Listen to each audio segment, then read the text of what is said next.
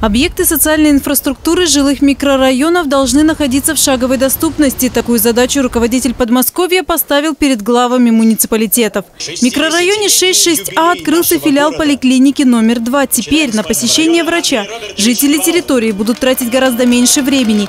При этом в одном месте смогут посетить нужного специалиста и сделать всю диагностику. По программе губернатора вложены очень большие деньги именно в поликлиническое звено в оборудование, в открытие клинико-диагностических центров, потому что основные услуги и основные вопросы здоровья жителей решаются в первичном звене. В тех условиях, в которых работает терапевт, кардиолог.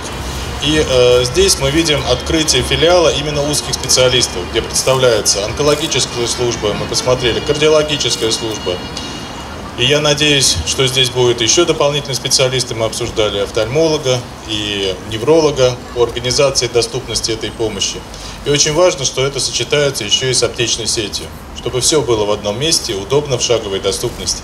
И мы максимально будем стараться развивать сеть совместно с главой города о доступности шаговой поликлиник. Здесь филиал, там филиал, чтобы, выйдя из дома, можно было добраться ногами, до той поликлиники, где находится тот врач, который на самом деле лечащий и решает основные вопросы здоровья. Просторное помещение лечебного учреждения, светлые кабинеты врачей, уютные холлы. Здесь готовы в смену принимать до 250 пациентов. Основные направления работы филиала поликлиники – эндокринология, кардиология, неврология, оториноларингология, онкология. Кстати, здесь будут работать сразу три кабинета онколога.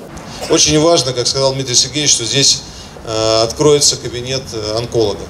Это то направление, на котором ставит акцент наш губернатор Андреевич Воробьев. Потому что мы с вами прекрасно знаем, что вовремя определить заболевание, вовремя поставить его под контроль, и дальше можно спокойно излечиться. Сегодняшняя медицина позволяет излечивать самые э, тяжелые заболевания.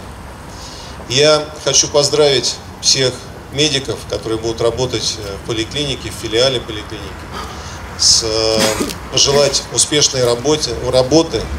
Хочу попросить вас и поручить вам э, не только оказывать здесь качественную, профессиональную помощь, но и создать условия, атмосферу доброты, теплоты, заботы, потому что мы с вами знаем, зачастую это помогает больше, чем какие-либо лекарства. Открытие филиала существенно разгрузит вторую поликлинику, да и для жителей это более удобно. Микрорайон за последние годы существенно увеличился. Введены новые жилые объекты. Востребованность в медицинских услугах высокая. Это случилось именно в такой день, яркий, солнечный, день 60 города Одинцова. То есть э, спасибо. Спасибо, спасибо и спасибо от мамочек, от деточек, от бабушек, вот, которые здесь сидят, и вообще от родителей. И вообще от родителей огромное спасибо.